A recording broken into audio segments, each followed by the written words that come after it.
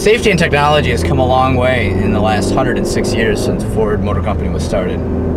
Ford has always been on the leading edge of safety and technology. And the question has always been, how do you how do you test safely? How do you make sure you're not putting the driver at risk? You're putting property at risk. You're going to damage the vehicle. And what if you want to test uh, what happens if a regular person, not a trained test driver, and you want to put them in an emergency situation and wonder how they handle it? Well, today we're going to find out how that's done. We are on our way to Ford of Dearborn's Research and Innovation Center, where we're going to try out their new VIRTTEX simulator, which puts a full-size car in a full motion simulator, and we'll be out testing out things such as lane departure, emergency maneuvers, and using complex cameras, sensors, and telemetry, they're going to analyze my reaction to those types of events. Just as you would if you're really on the highway. So we're on our way now, and this is going to be one awesome mission. VIRTTEX Virtual Test Track Experiment. It's a motion-based driving simulator. Um, the whole dome moves on those six hydraulic pistons or actuators that are uh, down on the bottom of the simulator. Ford is the, uh, the only automotive manufacturer in North America that has this advanced of a motion-based driving simulator. And it becomes key, crucial for a lot of the types of studies we do in here, active safety, and uh, just some driver interactive, uh, human-machine interface, HMI types of studies. So inside uh, of the dome, there's a car. Unfortunately, it's not a Mustang. We have a Taurus X inside. Um, it's unfortunately, I should say, it's not a Fiesta, right? Um, uh, we have a Taurus X inside, um, but the driver's in control. We study the driver in this lab. We don't do zero to 60 times for a vehicle or anything like that. We're studying the driver. So think of it to some degree as a big video game. Um, projectors in the top are projecting a virtual world on the inside walls that, uh, that is the virtual world that the driver drives through. And uh, we create that world. Uh, we have control, complete control over that world, um, except that the driver is driving through that world as they would. So turning the steering wheel, right, you, you drive, you turn through the virtual world, uh, hitting the accelerator pedal, the brake pedal, those types of things. Um, and we study either how the driver interacts either with the vehicle itself um, or the environment. And so a lot of the types of studies that we've been doing over the past few years has been active safety. Things like lane departure warning. So if you're not paying attention and you suddenly start drifting on your lane, what type of warning should you get that's effective to alert you to that fact and bring you back into your lane? Forward collision warning, uh, you're getting too close to the vehicle in front of you and uh, you're not slowing down. Um, should we flash a light? Should we play a sound? Should we mm, vibrate okay. something? Yeah. What's the best combination? And we can bring people in here and maybe not tell them about it, set up some type of uh, drive event, if you mm -hmm. will, and then um, how do they react? How quickly do they decelerate, steer to avoid that collision? Um, and, and then the results from this ultimately go out into the, the different vehicle programs, the, okay. you know, uh, the Ford product line to uh, be out in the vehicles and make our vehicles safer.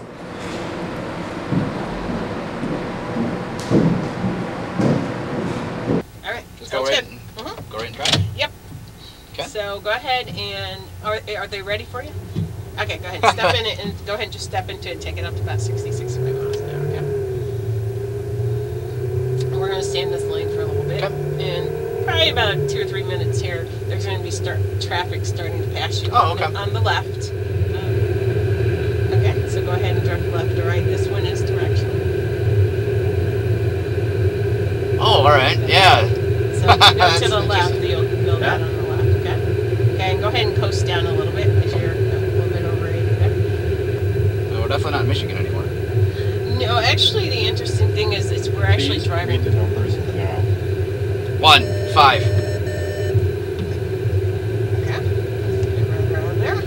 Um, what, what I want you to do is I want you to change lanes as aggressively as you would like um, between those Like emergency maneuver?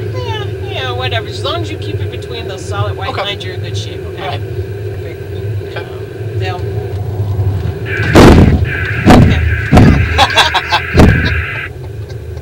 Okay. okay. Well. That was fun. so we're all set down. All right, we just finished up with the uh, VIRTTEX simulator. We're now on our way over to the um, headquarters of SVT for some really fun stuff. Now we can't take our cameras into SVT and behind in the workshop to show you what they're working on, but maybe we can get you something special. I don't know, GT500, Raptor. Just wait and see. We got some good stuff going on. Well, it's it's obvious from looking at the pictures I saw in the um, in the brochure. The suspension is designed to work. It's Right. not an afterthought. It was designed this way to be functional. You know, this isn't like I added an off-road sports sticker to the back and and, and maybe some shocks. I mean, this is this is the real deal. Right, and, and obviously the focus of all the engineering and development work on this truck was in the suspension. Yes. And I just put it in off-road mode. Okay. And what that does is when you get on it, really get on it, it'll hold the RPMs instead of automatically upshifting. Really? So that yeah, so that when you're going down the road and you're really, you know, going at a good clip off road and you're coming up on a bend, you lift off the gas and it'll you'll still be in the power band when you get back on it. okay. But this also changes um, or the stability control settings. Okay. It lets you stick the tail out. Um, it changes the um, the ABS engagement Okay. so that once you get below a certain speed, the ABS actually doesn't even work and the front wheels lock up, so you can wedge dirt. Oh, okay. All right. That's that's how you stop. I mean, if you're off road and you have ABS on, you slam on the brakes, you're not going to stop. You're just going to keep going Right. because it's constantly going to be pulsing. But this changes the ABS threshold to actually allow some lockup. And then, and that once you get a low enough speed, it actually lets the wheels lock up. Okay. All right, we are now in a 2010 GT500, and we are going for a drive. We'll see how this compares to the almighty Fiesta. We'll find out. Let's start this thing up. Let's see what horsepower sounds like. It's missing the push to start button. Yeah, the Fiesta starts here. They did their homework with this car. Right There's no doubt. Southfield. All I can say is I want this style, this short of a throw shifter, inside the Fiesta. That's what we need. Well, the horsepower is kind of good too, but this shifter, that does sound. Ooh, the Taurus has got you.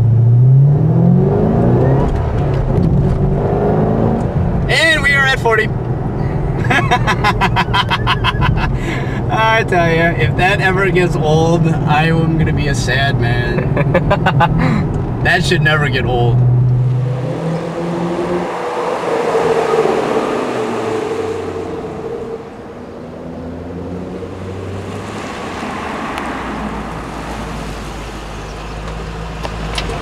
All I can say is this car is absolutely amazing.